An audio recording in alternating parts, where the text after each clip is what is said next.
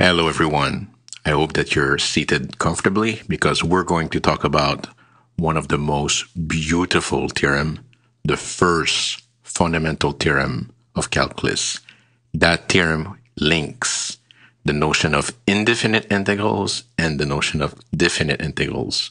So remember, indefinite integrals, we're referring to families of antiderivatives of functions. Meanwhile, definite integrals, roughly speaking, we're referring to the area under the graph of a function over a, an interval. So the terminology is very similar. The notation is very similar. But initially, those two concepts are completely different. But the first fundamental theorem of calculus links the two things together. So here it is.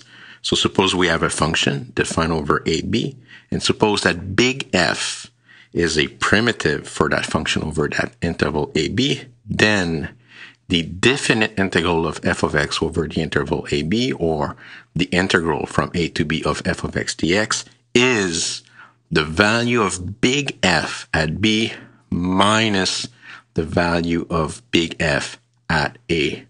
Wow. This is completely messed up because if you look at this theorem, it simply says that yes, if you're trying to find the definite integral of a function, yes, you could go crazy and use the limit definition if you're really in the mood. Or if you happen to have a primitive for that function, forget about all that bullshit. You can just compute the output of that primitive at the upper bound minus the output of that primitive at the lower bound. And just by computing f of b minus f of a, you get the exact same thing. So of course, of course, the first thing we're going to do is we're going to go over two examples where we use the limit definition of the definite integral, in particular using the right theorem to compute the value of those definite integrals. But now we're going to do it again using the first fundamental theorem of calculus. First example, let's compute the integral from 0 to 4 of x squared dx. So the first step, the way I like to do it is first you forget about the bounds. You just see this as initially an indefinite integral question. So we know that the family of antiderivative of x squared is x cubed over 3 plus c. So that's the first step. You forget about the bounds. You compute the indefinite integral. Little friendly warning here. Of course, my examples right now are very straightforward. But in general, you might have to use a technique of integration to find that family. So these questions can blow up in your face pretty quickly. Anyway, so that's the family. The second step is just to use one primitive. So typically I use the one where c is zero. So let's define f of x as being simply x cubed over 3. You could use x cubed over 3 plus 17, whatever turns you on here, uh, they will all work. But you just need one. So typically, if you want to simplify your life, just use the one where c is 0. And now here we go. So third step here. So if you want to compute the definite integral of x squared between 0 and 4, of x squared between 0 and 4, well, by the first fundamental theorem of calculus, this is what I'll write as FTC 1, it's f at 4 minus f at 0. I know what big F is here. So it's 4 cube over 3 minus 0 cube over 3. 4 cube over 3, that's 64 over 3 minus 0. That's the answer.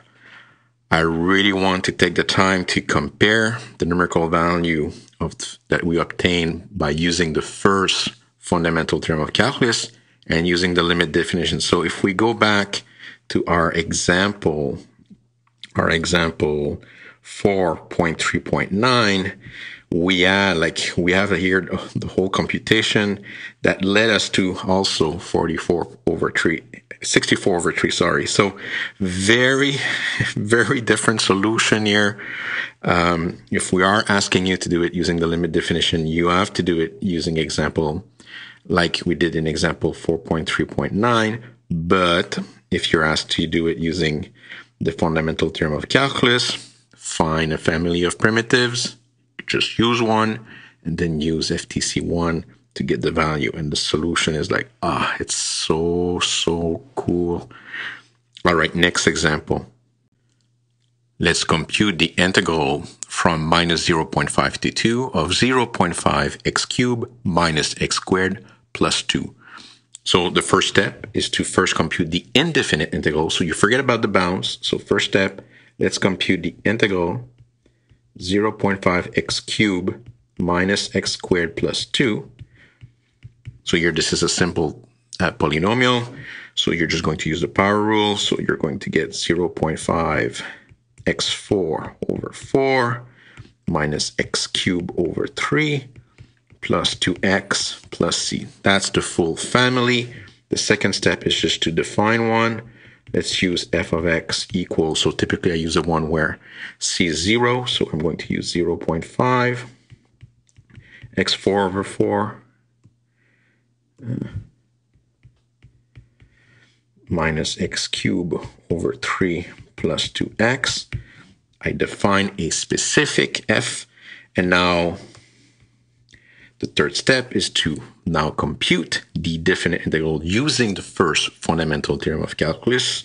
So now I know that the integral between minus 0.5 and 2 of 0.5x cubed minus x squared plus 2 dx using the first fundamental theorem of calculus, this is what I call FTC1, it's going to be f at the upper bound, so 2 minus f at the lower bound, so minus 0.5. And actually, if you do it, this will be equal to 4.28385416, etc. So periodic. And of course, again, again, look at this answer. And if you go back to the example uh, 3, 4.3.10, we got that number earlier. But of course, when you look at the solution of 4.3.10 versus the solution of this example uh, using the first fundamental theorem of calculus, uh, we're not talking about the same level of difficulty. This is such a this is so beautiful. This is this is amazing. I, I like, and of course, this is the connection, and all the terminology and notation came after this theorem. And there's a, there's a reason why we use the word indefinite integral or definite integrals, or we use the same notation, like without bounds or with bounds. Um, it's because of that theorem. There is a link, but we are initially talking about two different things, but this theorem just merges the two. So beautiful stuff. Let's do a new example. So next example, let's compute the integral from 1 to 5 of ln of x dx. Again, the first thing you do when you have a definite integral, you forget about the bounds. So we're going to first compute the indefinite integral. So let's just integrate ln of x dx. If you want to compute this integral, you're going to get x ln of x minus x plus c. For this one, you need by parts. Okay, so I'm not just giving it to you, but you need to use whatever techniques. In this case here, uh, the integral of ln of x is just x ln of x minus x plus c. The second step is to define one primitive. So I'm going to use, as usual, c equal to 0. So I'm going to use f of x as x ln of x minus x.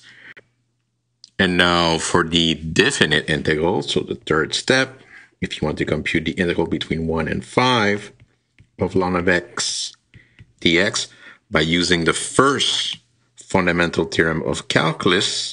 So I like to write this up on top. So here by using the fundamental theorem of calculus 1, I know it's going to be f at the upper bound.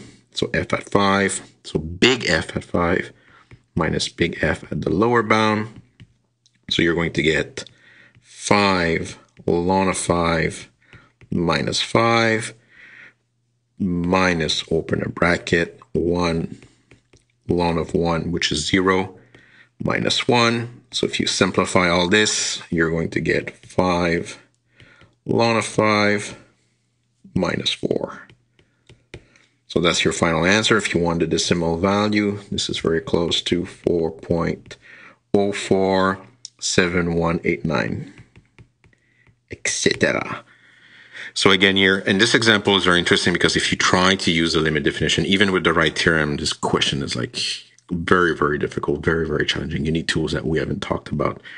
Basically, if you don't start with a polynomial, you cannot really use the limit definition to compute um, the definite integral. So you need the fundamental theorem of calculus, the first fundamental theorem of calculus to compute its value.